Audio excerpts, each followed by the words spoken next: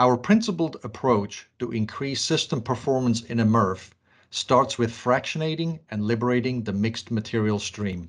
The next process in MRF design is to selectively separate individual commodities. Sensor-based NIR and color sorters are key tools for every MRF, providing primary sorting functions as well as final quality control on various paper grades and plastics. As material streams evolve and markets change, MSS optical sorters allow you to tailor sorting recipes with the touch of a button for maximum flexibility. The FiberMax runs belt speeds at 1,000 feet per minute, the fastest in the industry.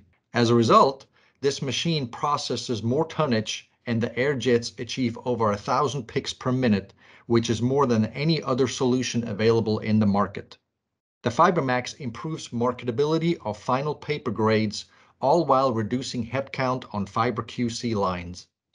The PlasticMax is the industry's most efficient optical sorters for plastics. It accurately identifies and recovers even the most challenging containers, such as short fills and fully sleeved PET, PE, and PP bottles.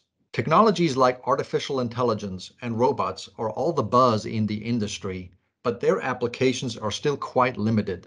Their options should be carefully evaluated for their true sensor capabilities, possible picks per minute, material surges, 3D shape and rigidity of the targeted commodities, effector design, monthly maintenance cost, etc.